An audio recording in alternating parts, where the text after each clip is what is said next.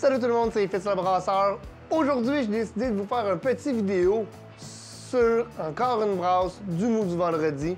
Mais aujourd'hui, on s'attaque à un style vraiment particulier qui peut être considéré comme un défaut dans certaines bières, comme une qualité dans un autre.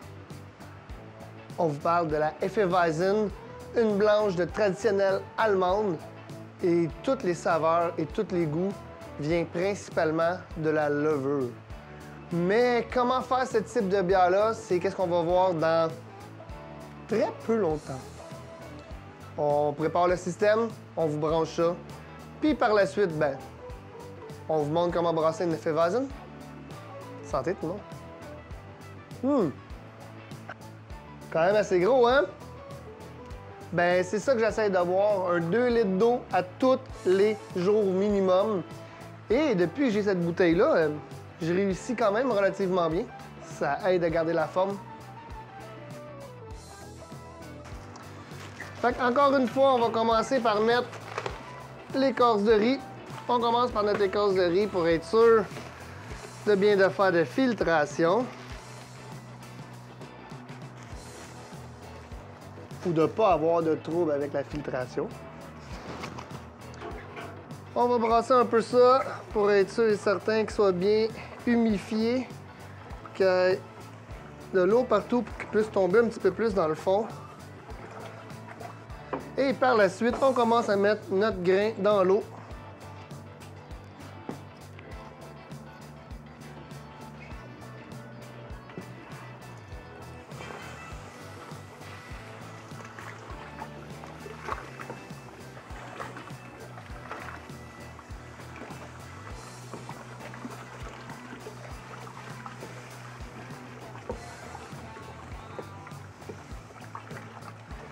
Tout le temps bien brassé pour éviter le plus possible de faire des petits motons.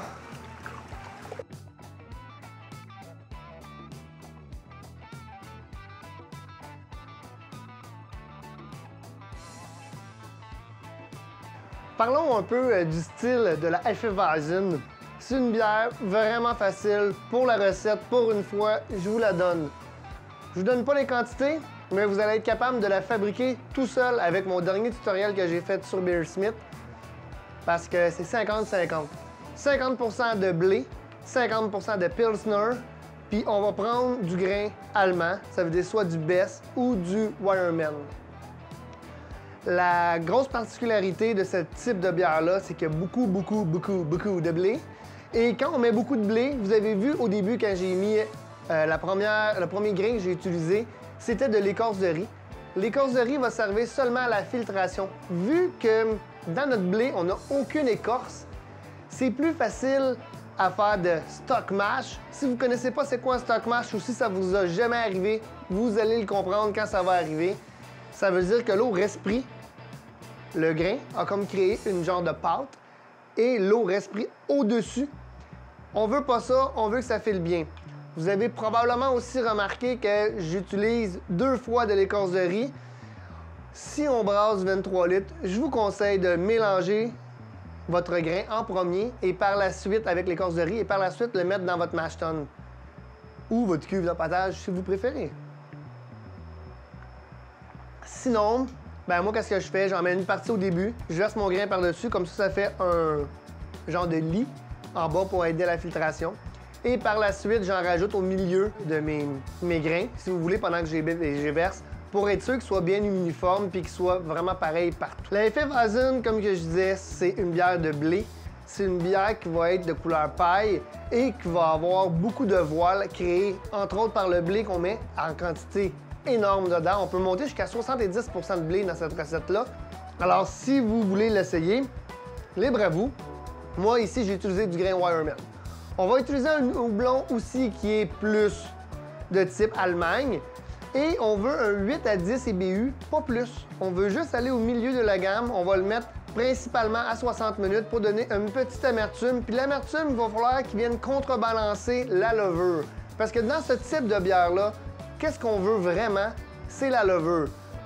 La levure va procurer vraiment un goût très spécial et il y a beaucoup de types de levure pour le type de bière. On a des lovers qui vont aller plus vers la banane gomme d'autres plus vers le clou de girofle. Idéalement, on veut balancer notre lover pour qu'elle soit moitié-moitié. J'ai vu quelques expérimentations de brasseries en Allemagne qui utilisaient la température de 17 de fermentation, bien en dessous de la température recommandée par White Lab, la WLP300. Qu'est-ce qui faisait que ça balançait exactement le goût que la personne voulait? Fait que c'est à vous à décider comment vous voulez la fermenter pour avoir quel goût. Là est l'importance d'avoir un bon équipement pour fermenter, car si on reste à la température ambiante, ben, on ne sera pas capable de répéter notre bière parce que notre température ambiante peut varier relativement beaucoup.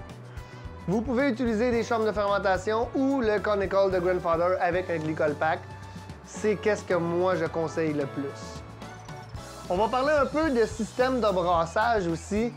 Vous me voyez souvent soit travailler dans mon Grandfather ou depuis quelques vidéos travailler dans mon gros système ici en arrière à Chaudron. Si vous pensez faire de la bière éventuellement, ou vous pensez à vous équiper pour créer de la bière maison, je vous conseille fortement d'aller chercher une machine qui est tout en un, peu importe le modèle ou la sorte, soit le Grandfather, il y a le Brew Tools, il y a euh, RoboBrew ou euh, Brewzilla, ou...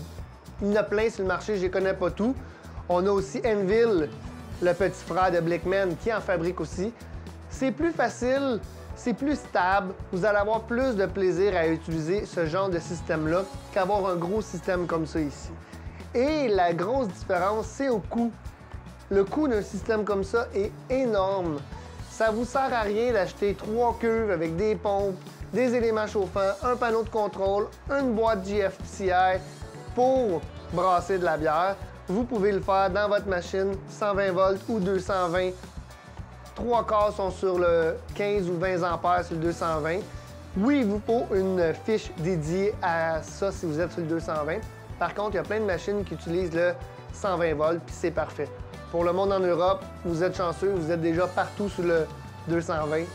Ça, ben, vous avez l'avantage que nous, il faut se repasser des fils en Amérique du Nord parce que notre principale électricité, c'est du 120 dans notre maison. Si tu n'as pas les moyens non plus de t'acheter une machine à 500-600 il y a tout le temps le brew in the bag, le biab qu'on peut faire, qui va être quand même relativement efficace, qui va être quand même bien. Vous allez avoir plus de difficultés probablement à sortir ou à extraire vos sucres et ça vous prend un plus gros chaudron si vous n'avez pas de valve pour faire le rinçage comme qu'on va faire dans pas long. Faites juste attention d'avoir le bon équipement, et de ne pas mettre trop d'argent sur les chaudrons. Le seul avantage qu'on a avec un système comme ça ici, c'est si on veut grossir notre système, on conçoit le panneau électrique en considération de notre système de brassage. On va être capable de très bien modifier notre euh, système de brassage en plus gros sans avoir beaucoup de sous à débourser parce qu'on va juste changer les chaudrons, les chaudrons et les éléments évidemment. Mais si notre électrique est conçu pour, on n'aura pas trop de difficultés. Mais euh, avouez que ça prend quand même de la place dans un sous-sol ou dans une cuisine. Fait que des fois, je vous conseille fortement d'aller dans le tout en un. Ça vous prend la machine qui va faire la mâche, l'ébullition, la pompe, le panneau de contrôle et souvent un autre soit chaudron ou le hot water sparge de Grandfather.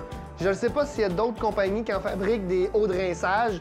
J'imagine que oui, je me suis pas encore renseigné sur toutes les machines qui existaient.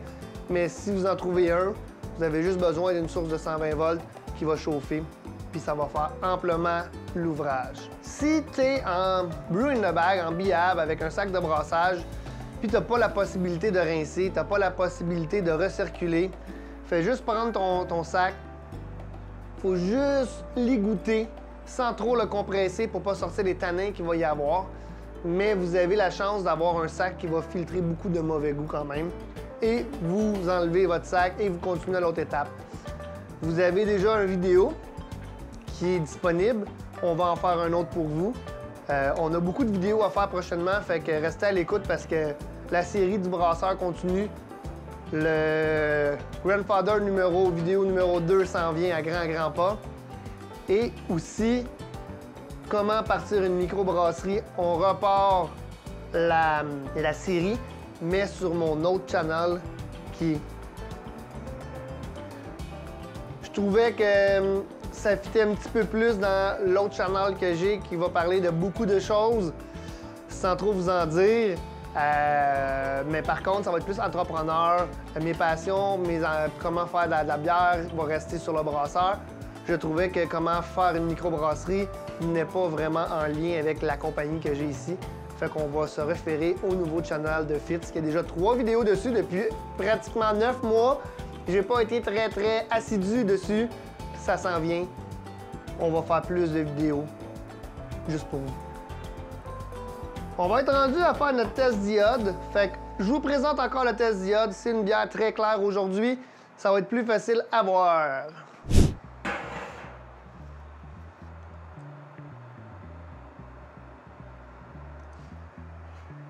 Test diode concluant. Je vous ai pas montré là avant, j'ai oublié de prendre une petite échantillon. Mais vous voyez, il est prêt. Ça restait la même couleur que la teinture diode. Fait qu'on va transférer dans notre cuve d'ébullition et on va commencer à faire notre rinçage des drèches.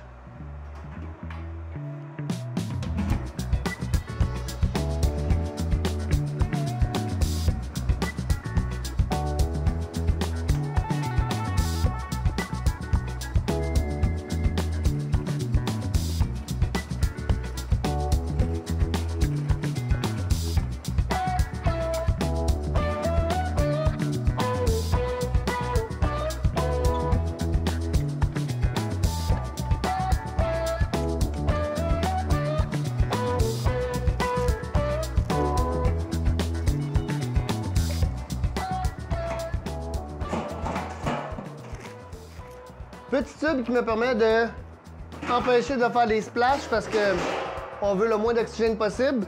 Et ça me permet aussi de faire mon whirlpool durant euh, l'ébullition, tout simplement.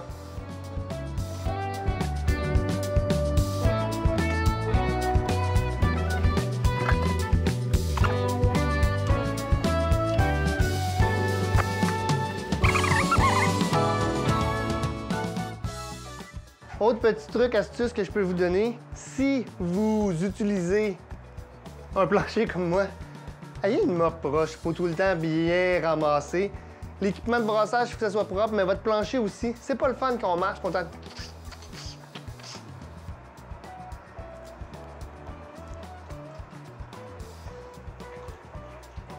Durant le transfert, on va prendre le mou qui est ici, qui est sucré, on va le mettre dans notre cuve d'ébullition.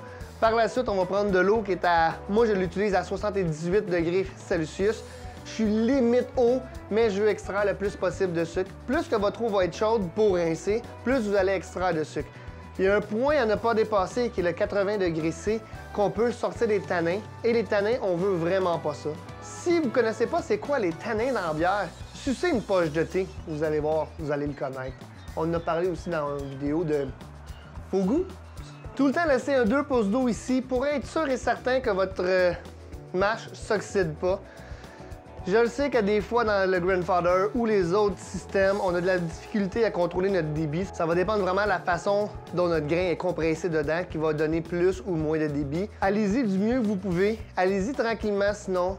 On peut oxyder notre mâche, mais avec la petite superficie qu'on se trouve dans le Grandfather, c'est négligeable et c'est vraiment... Euh, quelque chose qui est difficile à goûter euh, un mash oxydé, à moins que ce soit vraiment beaucoup. Plus qu'on va grossir nos chaudrons, plus qu'on va avoir un espace avec contact avec l'oxygène, plus qu'on a des risques d'oxyder notre mash. Puis ça, ben, on veut pas ça, ça va donner encore là des faux goûts. Fait qu'on y va tranquillement, on récupère le plus, plus, plus de sucre possible. Par la suite, on va porter à ébullition. Juste pour vous dire, il est 7h40 le matin. J'ai deux batchs à faire aujourd'hui. Connais-tu le mot du vendredi? Le mot du vendredi, c'est super simple. Fitz, le brasseur qui se trouve être moi, à la boutique Le Brasseur Adelson, te fabrique un 20 litres de mou de bière qui est disponible, que tu peux fermenter à la maison. Aujourd'hui, le mou, c'est une Hefeweizen. On a eu beaucoup de clients qui voulaient une bière à banane. C'est comme ça qu'ils l'appelaient. Fait qu'ils connaissaient pas le nom, mais ils disaient une blanche, là, tu sais, c'est trop là, puis ça goûte la banane. Ah, une Hefeweizen. Fait que le monde voulait ça. J'ai décidé de le faire. C'est la première fois qu'on fabrique ce mou-là d'après moi, c'est la première fois en trois ans qu'on fait un effet vasine. C'est un style euh, très populaire en Europe, très peu populaire au Canada. Il n'y a pas beaucoup de brasseries qui en fabriquent. Euh, surtout, la levure est difficile à contrôler. Fait que si vous voulez avoir la meilleure Effervescent au monde, essayez de contrôler vos températures de fermentation. Comme ça, vous n'allez pas vous mettre trop dans la plage banane ou trop dans la clou de girofle ou trop dans le bubble gum, si vous voulez, ou euh, la gomme ballon. Comme ça, vous allez être capable d'avoir une bière à votre goût, une petite blanche, facile à réaliser. Si vous êtes pris avec une fermentation trop chaude, vous allez avoir des goûts de banane et de gomme ballon, qui n'est pas nécessairement mauvais en soi. C'est un faux goût, mais dans le type de bière qu'on veut faire, ça peut devenir une qualité. Le rinçage s'est super bien passé. On a pris comme à notre habitude notre petite boule de rinçage. Si vous ne la connaissez pas, il est déjà disponible dans d'autres vidéos. Sinon, ben, référez-vous aux pauses que je viens de faire. Ben, que je viens de faire là, mais quand vous écoutez, ça fait déjà un petit bout qui a été fait. Mais anyway, tout ça pour vous dire que le rinçage a été fait, on prend notre temps. J'ai ma boule de rinçage qui va euh, y aller avec notre pompe et l'eau chaude. Présentement, je suis en train de remplir mon hot liquor tank, mon eau de rinçage. Pour quelle raison? On fait double batch aujourd'hui. Ça veut dire que dans un système comme ça, je suis capable de faire deux et trois batchs par jour. Oui, je le sais, c'est beaucoup d'ouvrage. Puis en plus, je prends le temps de vous expliquer tout ça en vidéo. Ça me fait un grand plaisir de vous expliquer comment faire une Hefeweizen, une bière de type allemande blanche. Et pourquoi qu'on rajoute rien pour avoir des goûts de fruits ou des goûts euh, d'épices? Pourquoi on utilise une certaine souche de levure? C'est parce que dans le temps, puis beaucoup de brasseurs maintenant utilisent cette loi-là, la... Reinheitsgebot. Puis la loi allemande disait que la loi de la pureté, c'était de brasser seulement avec la matière première qui est le grain de base, l'eau, et même dans ce temps-là, ils connaissaient même pas la levure, mais de la levure. Fait que ça permettait de décider de faire des vraies bières sans rajouter une tonne d'arômes ou une tonne de, choses qui sont plus vraiment dans le style de la bière. Beaucoup de brasseries maintenant adoptent cette loi-là par, euh, comment je pourrais dire, sens du savoir-faire et veulent pas ajouter des produits autres dans leur bière. Si vous voulez faire une bière à l'orange, vous pouvez rajouter des écorces d'orange mais vous faites plus partie de cette loi-là. Fait que c'est le fun de pouvoir créer une bière qui goûte autre chose, dont un petit goût de banane, un petit goût de gomme ballon ou un petit goût d'épices. Et de créer ça à partir de la matière première simplement sans rajouter d'adjuvant, sans rien ajouter au complet à cette bière-là. Pourquoi j'ai ma, mon fourquet ou ma spatule de brassage? Euh, tout simplement parce que c'est mon gauge de niveau. J'ai jamais pris le temps d'identifier mes cuves avec le nombre de litres qu'il y a dedans. Fait que j'utilise mon bras de brassage pour ce faire. Je le trempe et quand il arrive à la quantité voulue, ben on sait qu'on a rendu à la bonne quantité d'eau. Je vous avais pas montré, hein? J'ai cassé mon fourquet. Mon fourquet de tête de squelette que j'ai eu en cadeau. Je suis vraiment déçu. Par la suite, un coup que notre, euh, notre rinçage est fait, on a commencé à porter à ébullition. On a emmené ça à 100 degrés Celsius pour pouvoir faire une belle ébullition. On a deux éléments de 5500 watts dans ce petit chaudron-là qui fonctionne présentement. On est présentement à 20 degrés pile de qu'est-ce qu'on veut. Moi, j'utilise le Fahrenheit, donc on est à 200, pas 20 degrés. On est à 200 et on veut 212 en Fahrenheit. Je suis désolé pour le monde qui sont en Celsius. On vous ferait la conversion sur Google, c'est votre ami, après tout. Et on va commencer à écumer dans pas long. On va commencer à enlever les protéines, la mousse de protéines comme vous savez que j'enlève à toutes les fois qu'on brasse. Tout ça pour aider l'ébullition, pour permettre de ne pas faire des ball-over et pour être sûr et certain que tout se ramasse pas dans notre filtre au fond et ça bloque notre refroidisseur à plaque, notre strainer, et etc., etc. On va quand même la garder en souvenir. On va la mettre à quelque part sur notre mur pour... Euh, je parle présentement de... Ouais, je sais. Tu vois pas tout ce qui se passe ici. Je parle présentement de ma spatule. Je vous le montre, qu'est-ce qui est arrivé. Ma spatule de brassage qui a... Fait qu'on va probablement l'accrocher comme ça ici à quelque part, y faire un beau design. On va pas jeter cette magnifique œuvre d'art-là. Et je vous montrerai les résultats plus tard que ça, ça donne. Fait que la mousse de protéines qu'on enlève, sans faire trop de dégâts, Encore une fois, comme je vous dis, il est de bonne heure le matin, je suis sur le café. C'est rare que vous me voyez brasser avec de la bière. Je ferai une vidéo sur comment brasser sur le feu, comme que j'ai commencé dans mon gazebo. Si ça vous intéresse, dites-moi là en description. Ça va me faire un grand plaisir de vous expliquer les étapes sur un autre système qui est plus électrique, qui va être au gaz. J'ai pas fait encore de vidéo sur un système au gaz et je pense que ça pourrait intéresser certaines personnes. Dites-moi si ça vous intéresse.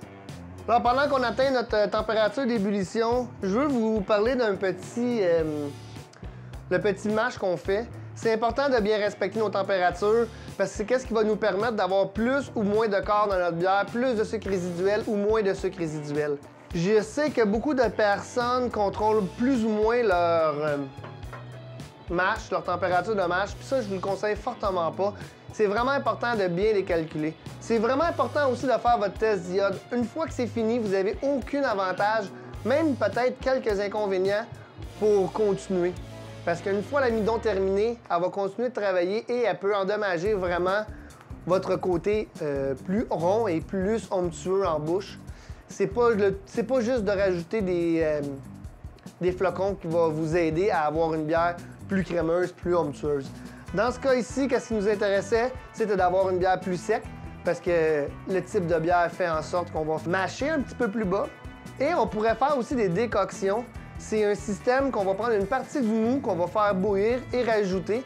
C'est un système qu'on va travailler un petit peu plus à palier pour aller sortir différents enzymes qui va donner différents goûts. Je pourrais probablement faire une vidéo dessus un brassage à palier et vous l'expliquer de A à Z si ça vous intéresse.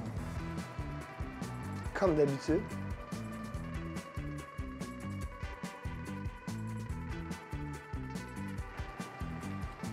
Mmh.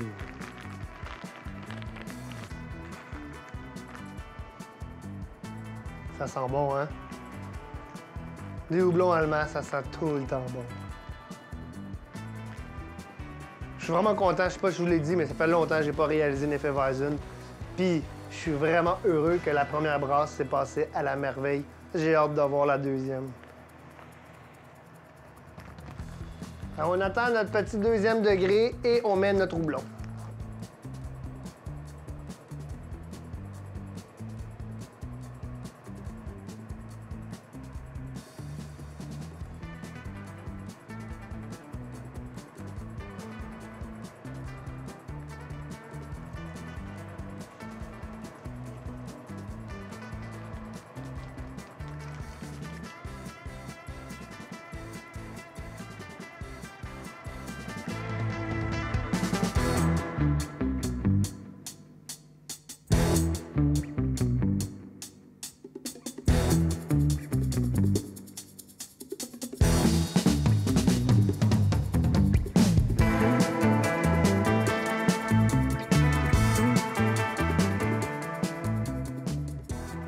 A commencé la deuxième batch. On va transférer dans notre fermenteur. La température est un petit peu trop chaude, mais on n'a pas le choix à cause de l'eau présentement qui est vraiment, vraiment chaude. On va être capable de le refroidir un petit peu à température ambiante, le temps de mettre de la levure. Cette bière-là peut excuser un petit peu la température trop chaude, mais vu qu'on fait double batch aujourd'hui, il faut y aller. Fait qu'on ferme la pompe et on commence notre transfert. Fait les deux passoires vont servir à deux choses. Ils vont servir à empêcher justement d'avoir des cochonneries qui pourraient se retrouver dans notre mou. Et la deuxième chose va oxygéner notre mou pour avoir le plus possible d'oxygène dedans pour euh, que la levure soit capable de le manger. Je vais essayer de vous faire une deuxième vidéo sur la Hefeweizen en dégustation. Je, vous, euh, je vais en garder un pour moi, fait qu'on va essayer de vous en faire un euh, petit vidéo dégustation, fermentation, si jamais ça vous intéresse, encore une fois. Euh, je risque d'avoir beaucoup de commentaires dans cette vidéo-là. Fait qu'il nous reste à remplir ça, remplir nos fermenteurs, puis les clients viennent chercher notre mou, prendre le test de densité. Je sais que vous voyez pas souvent le test de densité dernièrement, c'est parce que je le prends au réfractomètre. J'ai cassé mon éprouvette et je les attends, malheureusement. Fait que je travaille fort pour vous faire un prochain vidéo avec les densimètres où je vais vous montrer la différence entre le plateau et la gravité originale, qu'est-ce qu'on utilise un petit peu plus en homebrew. Alors, c'est tout pour la petite vidéo. J'espère que tu as apprécié. Si c'est le cas, fais-moi le savoir, partage en grand nombre. Oublie pas de t'abonner, la petite cloche, pour rien manquer de ce que je fais à l'avenir. Puis, euh, on se dit dans une prochaine vidéo, les amis. Ciao!